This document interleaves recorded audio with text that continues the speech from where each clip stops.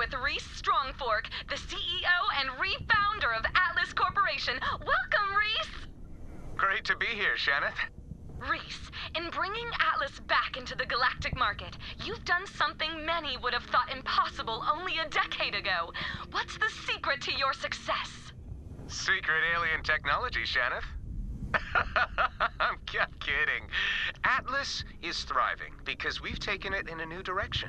I believe a company should lift its employees on its shoulders, not the other way around. And what about your competition? Atlas has been attracting a lot of attention.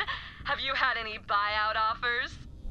I'll be honest, we've gotten some pretty, uh, aggressive offers from certain legacy weapons brands, but I'm not selling.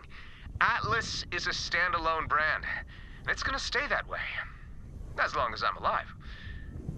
Ah, why did I say that? You, you, you can cut that, right? Right? It's live? Ah, Jerry, why are you always scheduling these things?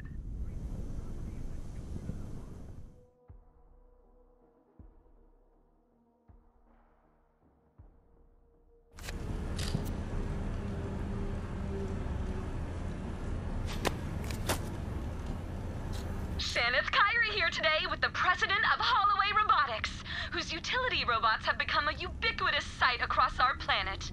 Mr. Holloway, what's the secret to your success? While the six galaxies breathed a collective sigh of relief when Hyperion canceled the CL4PTP line, it left an unfulfilled space in the robotics market.